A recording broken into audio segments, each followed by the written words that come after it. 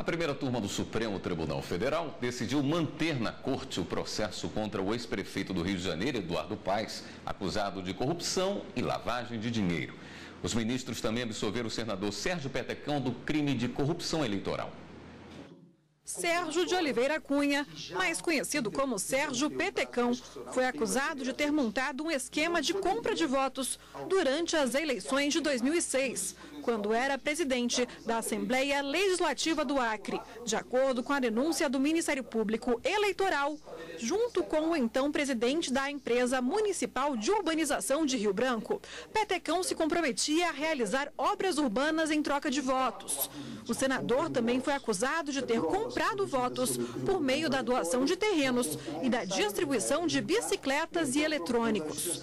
Por unanimidade, os ministros da primeira turma acompanharam o relator do caso, ministro Alexandre de Moraes, pela absolvição do senador.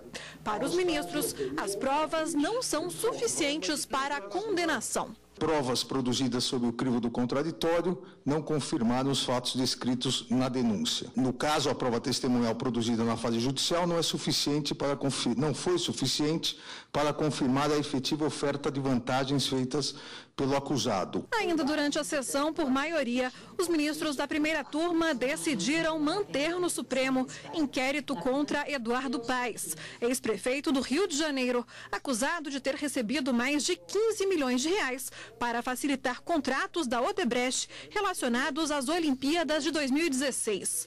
O dinheiro teria sido destinado à vitoriosa campanha de reeleição de Eduardo Paes, coordenada pelo deputado federal Pedro Paulo, também investigado. Eduardo Paes não tem foro no STF, mas a maioria dos ministros entendeu que o desmembramento do processo traria prejuízos para as investigações.